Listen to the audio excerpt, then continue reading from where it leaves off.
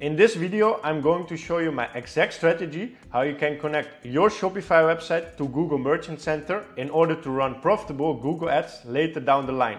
My name is Robin. I have five years of e-commerce experience, which I'm breaking down in videos like this. Make sure you watch the whole video because there are a few crucial steps you need to take in order to make everything work in the end. Okay, without further ado, let's jump right in my screen.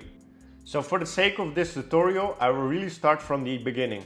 All the links that you see in this video I will put in the description. Step number one is to create a Google Merchant Center. So first we need to sign up for an account right here. So once you select the right Gmail, you fill in these questions. Do you sell products online? Yes, of course. Uh, I created a test website on Shopify. Do we have a brick and mortar store? No, we are only an e-commerce website. You scroll a little bit down, continue to Merchant Center. You need to fill in the business name of your URL, so actually your store name and not your business name to avoid problems later down the line. The original country that I am is from Netherlands. I don't want any personal email notifications or invite participants. So you click continue to Merchant Center so there we are. This is our brand new Google Merchant Center account and I'm going to explain step by step how you can connect your Shopify store to this new merchant account. So before we connect Shopify to the Merchant Center account, we need to fill in some crucial details. So follow my steps. First we go to business information here. We enter the business details from your company. Uh, as you can see the name here of my website is Johnson for the sake of this tutorial.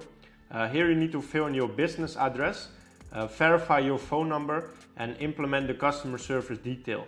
So for the sake of this tutorial, I took a random address from internet.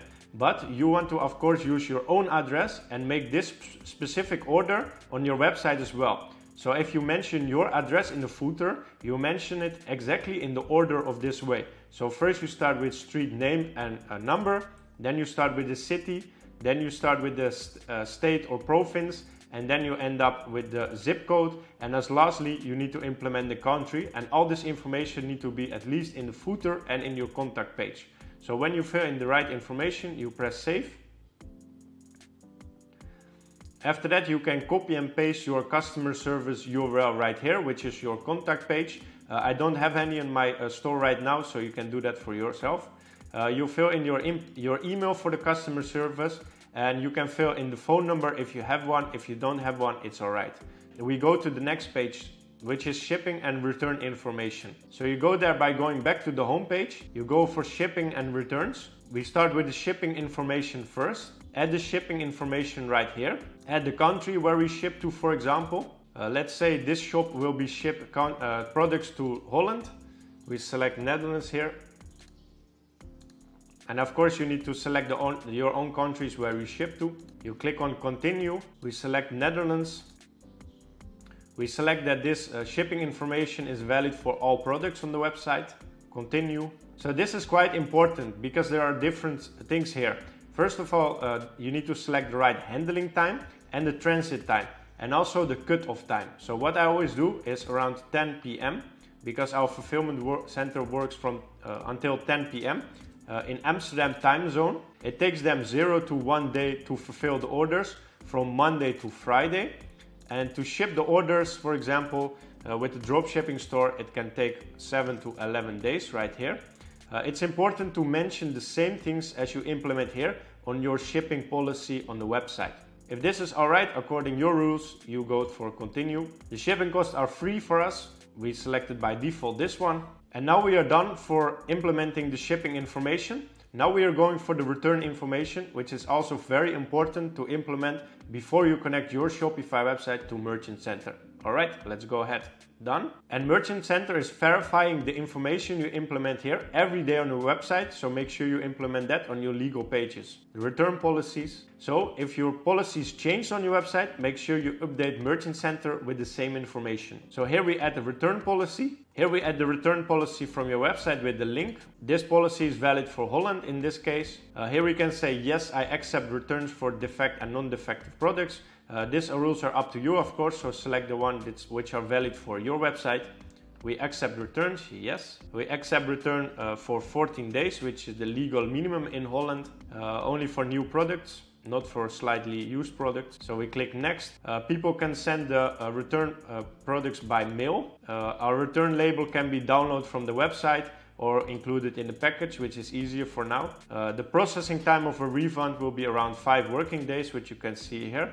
Also implement this on your return page. We don't do any restocking fee, so you can leave that at no cost. So you click next. You check if all information is according your rules. I confirm the information and we click save. So now that the shipping information, return information and the business information is saved, we can start with the fun part and that is connecting your Shopify website to Merchant Center. So let me swap to the Shopify store right now. Alright, so there we are in my demo store on Shopify. Uh, here we are going to connect the Shopify to the Merchant Center. Uh, you have two options. You can either select the free option for, from Google by default. Actually, I would not recommend that one because it's very limited by the option you have. Uh, so I'm always going by uh, an application which you can download from the App Store. I will leave the link down in the description to make it easier for you. And the name of this application is Simprosys. So if you go here on sales channels, uh, you uh, select uh, Simprosys right here. You go to the Shopify App Store. It's the one with more than 5,000 uh, downloads with the shopping cart logo here. So you want to make sure to install this uh, plugin on your website. It costs around $5 uh, a month uh, depending on the amount of products you have, but it will make your life a whole lot easier because uh, it will synchronize all products on your websites 24 7 with Google Merchant Center and update everything automatically. So you click, you click on install, we install the app. So here you need to sign in with the Gmail address you just created the Merchant Center account on. So sign in with Google, allow. So now I need to select the right Merchant Center number so make sure you double check that in the account you just created. 985, that is exactly this one. Confirm my account. So because this is an old interface from the Simprosys app from the previous Merchant Center version, you can simply click yes, I've enabled the programs right here. So we get this message from Simprosys because we didn't verify our website information yet. I will show you exactly how you can do it yourself in the code. Follow my steps. So here we are back in the Merchant Center. We simply go to Business Information. We click on Confirm Online Store. And then we have a few options. You can either send the code to your business email, but actually I prefer to implement it in the HTML file because it's faster and more solid. So simply uh, click here Add HTML tag. You can copy and paste this right here we, and we are going to paste it in our theme code in Shopify. I will show you exactly how we do it. So here we are back in the Shopify. You go to online store, you go to edit code, you go here that theme.liquid, and now you can just press enter here and copy the code right there. Now we click on save. Now that the code is saved, we can go back to Merchant Center to verify this piece of code. So now we are back in the Merchant Center. Now we can verify our online store. Alright, now the verification is completely done from the Merchant Center side. We can go back to the Shopify side and install the Simprosys app. So there we go. Now it asks us to uh, verify the Merchant Center account again. As I said, 985 are the last numbers of my Merchant Center. Confirm account again. Enable program again.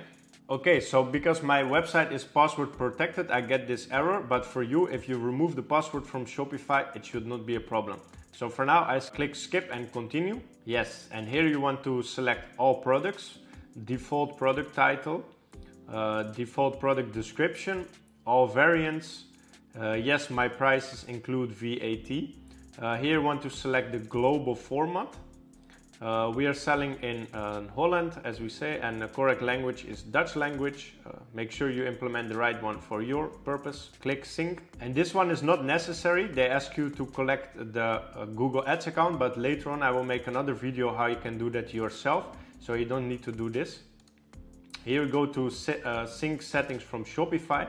So here you can see that the process uh, of synchronization between Shopify and Merchant Center will take around 10 hours. So once done, you go here to settings, uh, synchronize settings from Shopify, and you will select the right categories uh, on the right side right here. So you select the category that you're selling in. So let's say it's uh, clothing or cloth, uh, clothing in Dutch. You select this one. You make sure the age group is uh, right the gender, for example, and the product condition. Uh, so when the synchronization is done after 5 to 10 hours, uh, this uh, notification will disappear. You select the right uh, settings right here and you press save. Uh, it's not possible right now because the synchronization is still in process.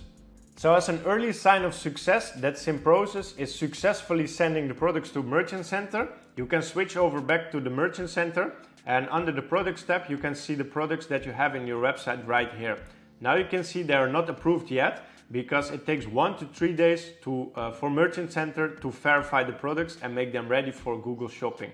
So this is the exact strategy what we use in our agency to connect Shopify with Google Merchant Center successfully. My name is Robin, I'm the owner from Robtronic Media, and we help e-commerce partners scale profitable past 100,000 euros a month using Google Ads only. If you would like to see any information about that, make sure you check out the link in the description.